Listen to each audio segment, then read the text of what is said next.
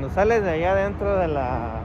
Puedes cruzar otro camino que da aquí al pabellón y tiene estructuras, miren, bastante impresionantes. Esta sección, aquí tienes el Concord, miren, ahí está el Concord arriba. ¡Uh! una maravilla de la ingeniería.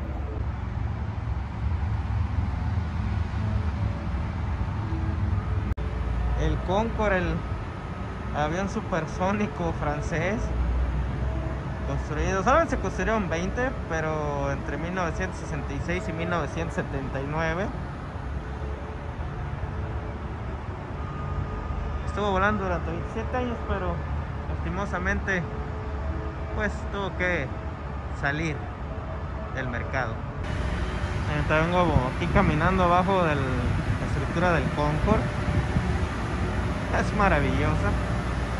Ah, llantas.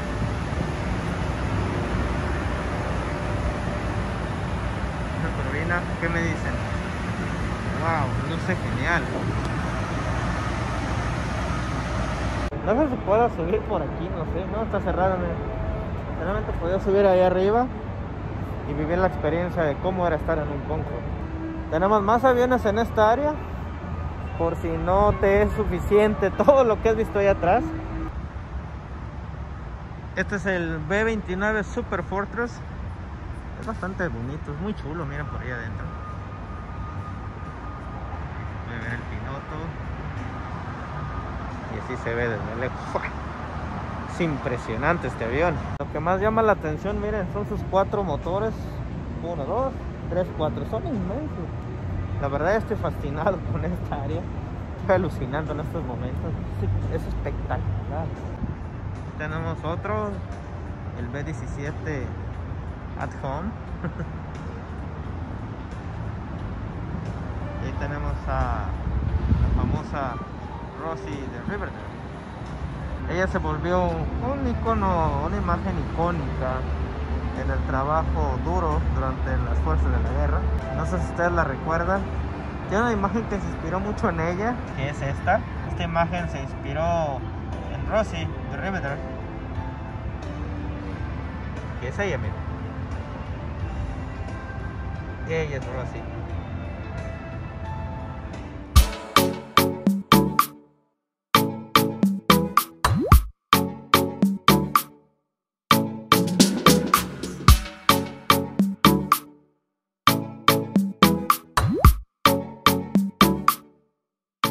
Ahora estoy subiendo aquí para meterme a la Air Force One, el avión presidencial que ustedes conocen. Chéquense. De entrada, este es un avión bastante pequeñito, es un Air Force One viejito. Ahí podemos ver la, la cabina de mando de los pilotos. Los copilotos. El botón número uno que ustedes ven es para la estación del piloto. El botón 2, aquel de allá, es para el copiloto. Este de aquí es para el ingeniero de estación. Todo ese control son para él.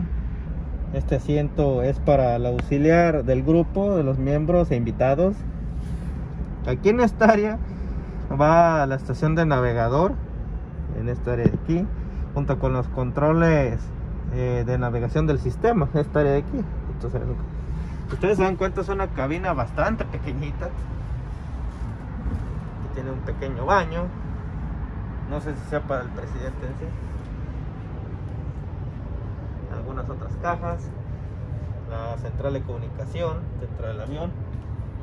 Que todo esto era tecnología de punta en su momento. ¿eh? Teléfonos. Aquí tenemos otra área la puerta me imagino la cocina, pequeña cocina, otra puerta esto era para servir al presidente lo que costaba más asientos para los acompañantes que vinieran con él su teléfono eran los antiguitos. Entonces todo esto es lo que te vas a encontrar. En esta área si puedes ingresar está abierto al público. Aquí tenemos el cuarto presidencial con su baño allá al fondo. El señor presidente no se nos hagan el baño cuando llegue una reunión importante.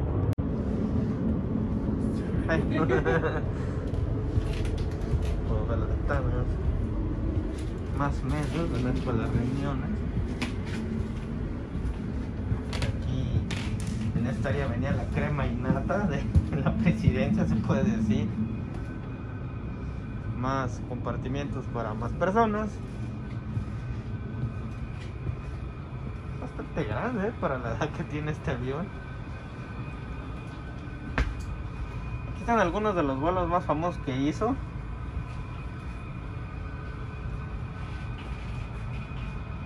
Europa en el 59, Houston, Viena, China. Así como que tantos, tantos de la cocina. Ya el señor unos huevos revueltos. Y más baños. No, tantos baños, eh. Es espectacular la cantidad de espacio que tiene esta aeronave. Es enorme. Empezamos ayer, ver todo lo que se recorre. Aquí están algunos de los personalidades que volaron en este avión. Creo que el más famoso de todos es Kennedy, por supuesto. Unos diplomáticos. Es genial poder ver todo lo que conlleva un avión presidencial, más de este nivel. Esto es lo que vas a vivir una vez que estés aquí adentro. Aquí se termina. Una experiencia presidencial de altura, se puede decir. De lo que puedes encontrar en este Air Force One es bastante viejito este avión. Hay que decirlo, no es muy moderno. Pero es espectacular de todas formas.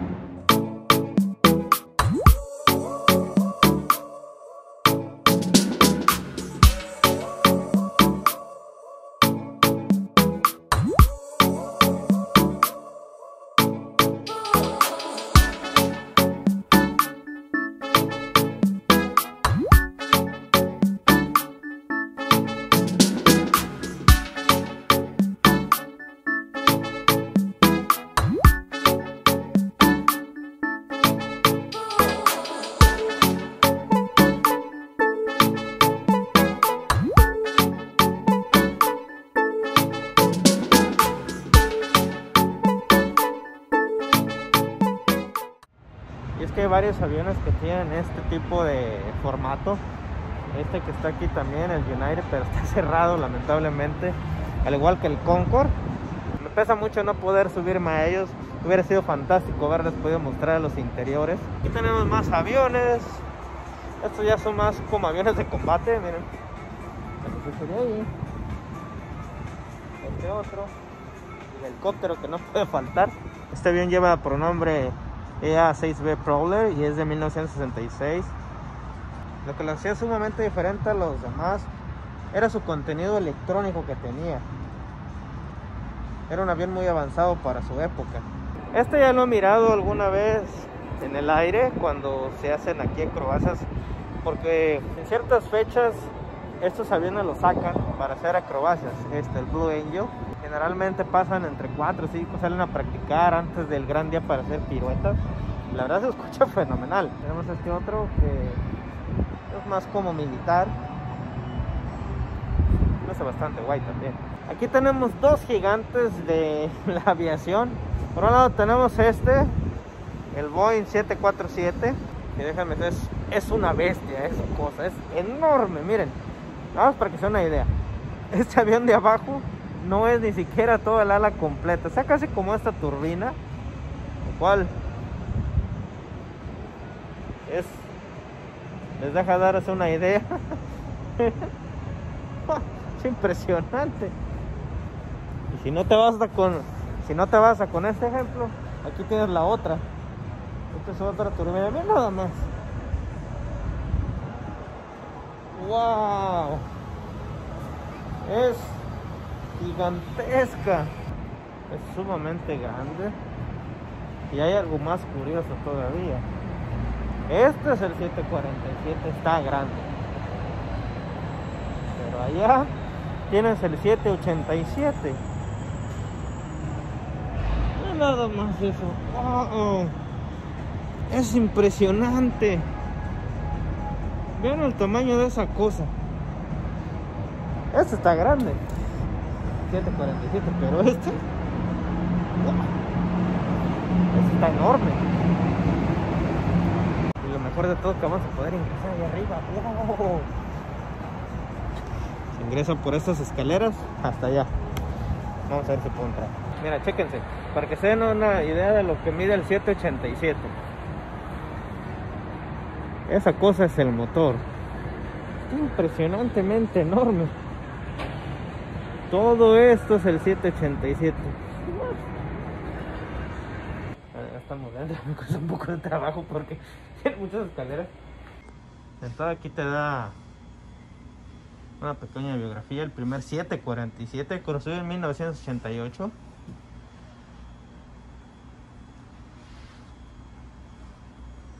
Aquí ves al personal de este gigantesco avión que cambió de alguna manera la cara de los vuelos comerciales. Escaleras que nos podemos subir ahí arriba. Las señoritas azafatas de ese tiempo. Más o menos te das una idea de lo que tenía este lugar, que es sumamente espectacular. ¿eh? Y dígame, ingeniero, ¿usted cómo se siente? Por lo que veo no se siente bien, está tocando la cabeza, diciendo, ah, ¿qué pasa? Que esta persona fue la que realizó el último test de vuelo de este avión. Aquí tienes algunas fotos, videos de cómo era volar en este avión. Más asientos. No podemos cruzar para subirnos, pero hubiera sido genial poder. No podemos cruzar aquí para meternos, pero hubiese sido genial poder adentrar, sentarnos mínimo en un asiento de esos. Imagínense. Imagínense la cantidad de gasolina o imagínense la cantidad de combustible que utilizaba esta cosa para mantenerse en el aire y cómo levantar todo este peso.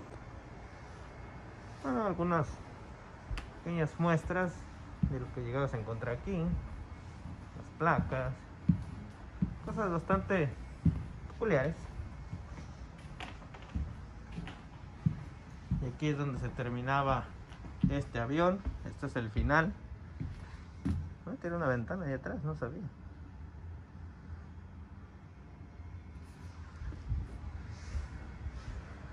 Yo me imagino que toda esta rampa bajaba y subían y lo ponían cargar. Lo cual, pues deja ver lo grande que es. Aquí pueden ver una muestra.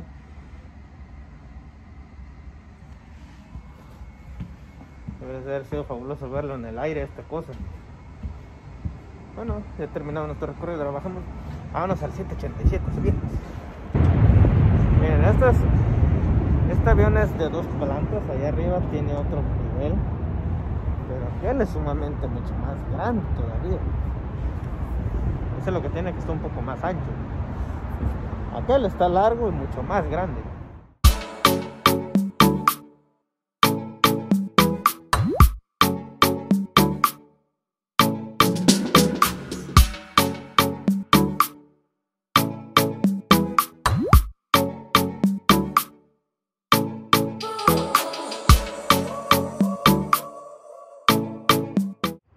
La verdad me siento como un niño aquí por todo esto detrás mío.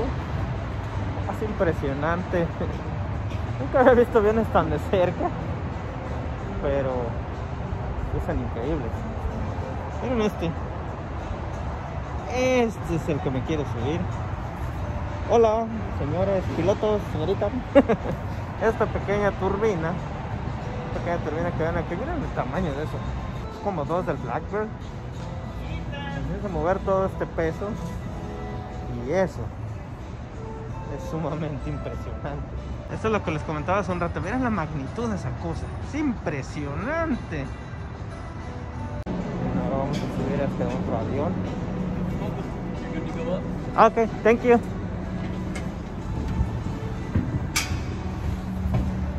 Vamos a subir más escaleras todavía.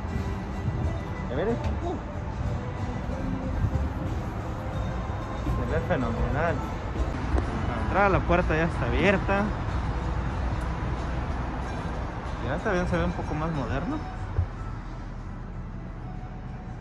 ¿Cuántos files de asientos? Es un poco más moderno, lo tienen tapado por obvias razones.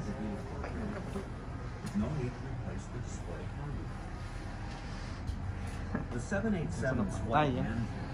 Todos los asientos son más como de lujo, es como premium. Ya los nuevos tienen este tipo como cuarto.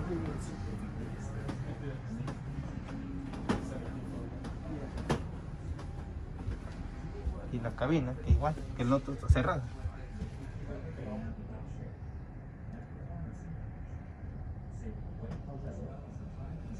Cometí un error, me salí por el otro lado de Coca, pero miren nomás cuántos asientos tiene esta cosa.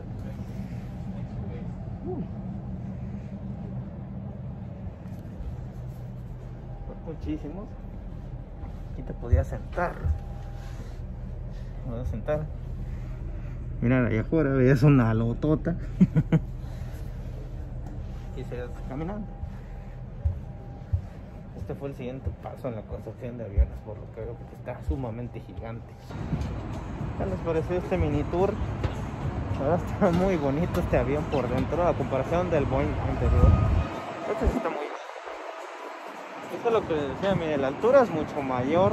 En cuanto a altitud, de diseño este es más corto, el otro 747 es mucho más grande. Este lo siento un poco más cómodo que el anterior. El anterior es más como para carga.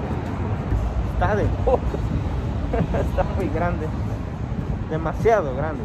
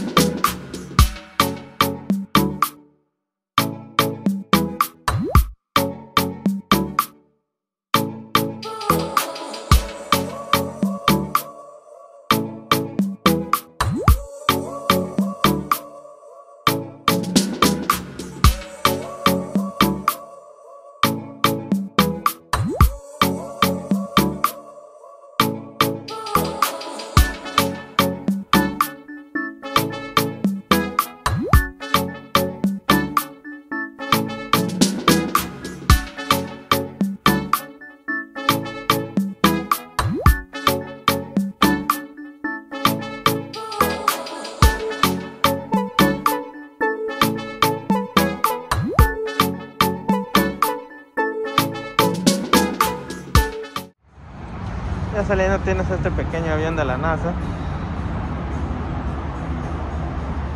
Pero miren, es para que se haga una comparación. Miren esos dos muchachos. Miren el tamaño de esas cosas. Miren el ala. Todo esto es el ala. La turbina. Y algo curioso es que estoy viendo que esta turbina es hecha por Rolls Royce.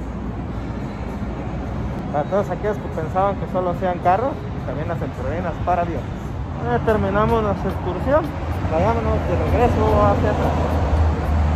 Este avión que ven aquí afuera tiene el nombre de Lockheed L1049 Super Constellation.